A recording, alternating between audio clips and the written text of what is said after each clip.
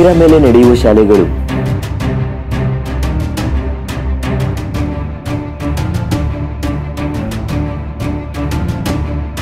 ಎಲ್ಲೆಡೆ ನೀವು ಶಾಲೆಗೆ ಹೋಗುವ ಮಕ್ಕಳನ್ನು ನೋಡಿದ್ದೀರಾ?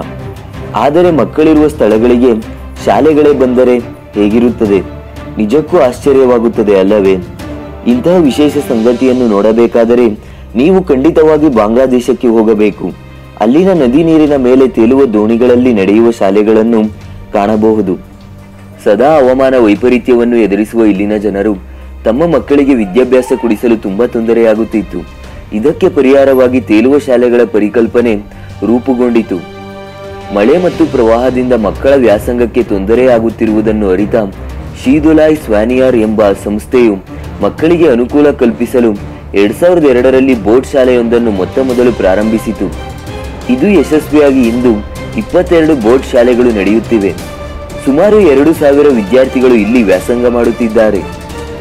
ಇವರಿಗೀಗ ಯಾವುದೇ ಪ್ರವಾಹದ ಮತ್ತು ಮಳೆಯ ಭೀತಿ ಇಲ್ಲ.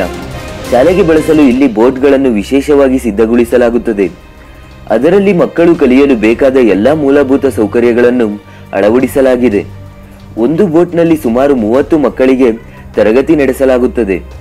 ಒಂದು ಬೋಟ್ ದಿನಕ್ಕೆ ಮೂರು ಪಾಳಿಯಲ್ಲಿ ಕೆಲಸ ನಿರ್ವಹಿಸುತ್ತದೆ.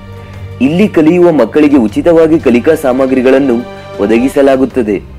ಈ ಬೋರ್ಡ್ ಸ್ಕೂಲ್ಗಳಲ್ಲಿ ಪ್ರಾಥಮಿಕ ಶಿಕ್ಷಣ ನೀಡಲಾಗುತ್ತದೆ.